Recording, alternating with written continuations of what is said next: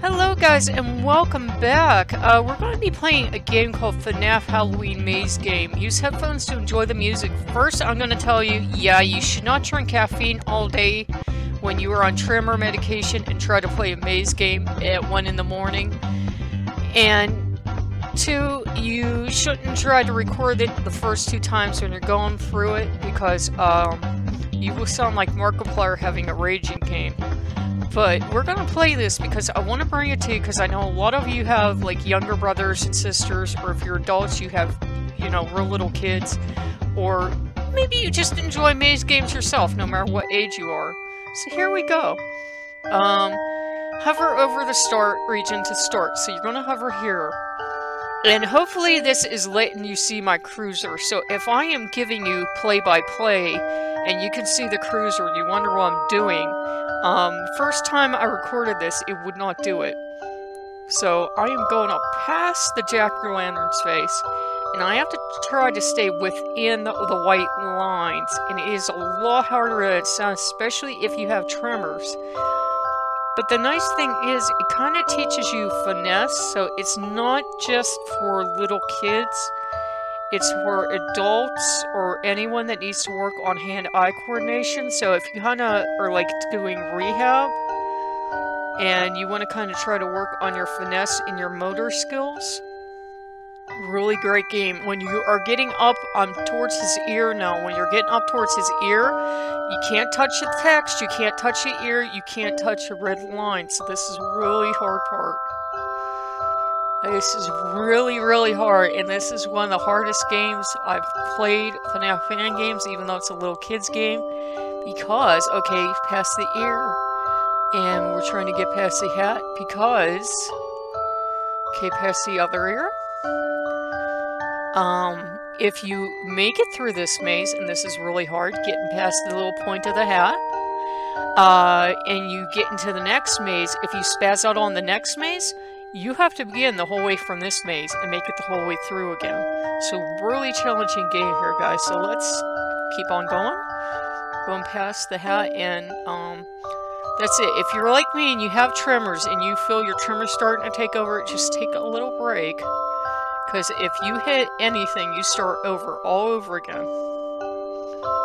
It's like, um, a game designed by perfectionists.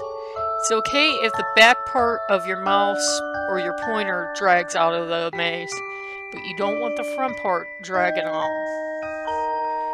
So we're going past this fur. You go as fast as you want, you just can't leave the maze. We're back past the, so the shoulder and we're going to hit the end.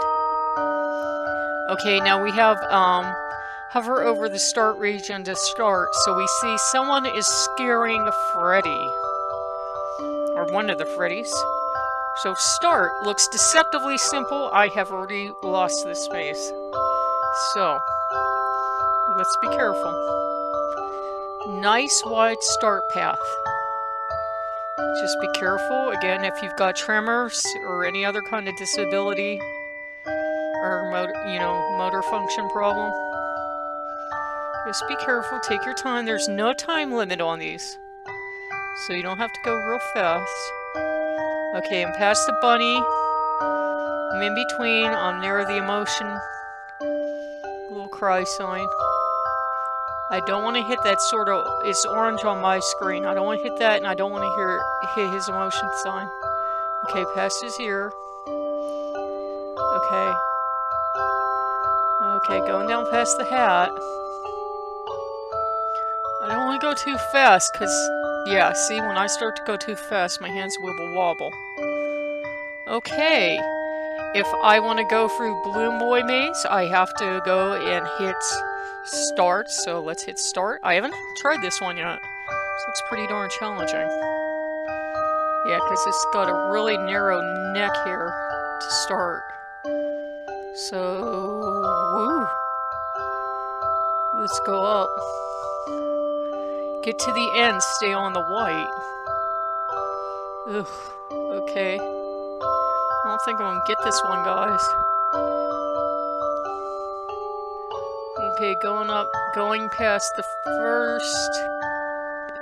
First Yeah, I'm not gonna make it, I'm not gonna make it, Oh my god. How do I do this?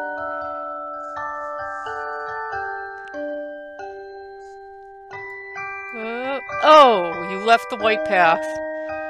Try again? No, I'm not gonna try again because we did a lot of it. So, um, what I'm gonna do here... Sorry about that, I bumped it. Uh, what I'm gonna do here is I'm going to, um, leave off the recording here. And if you like what you see, like, comment, and subscribe. And if you like the game, I'll give you a link over. I like this game not just for little kids, but for anyone that likes puzzle mazes, anyone that likes Halloween. And if you need the practice with your hand-eye coordination, or you just need um, practice with a stylus, I'm using a mouse. I don't have a stylus and a tablet or anything. But if you want to get some practicing, go ahead. Um, not really fond of the music, but it's okay. Uh, and the pictures are really cute. The art's cute. So, uh, I'll give you guys a link over, and uh, happy Halloween season to you guys, and I'll see you guys later. Bye-bye.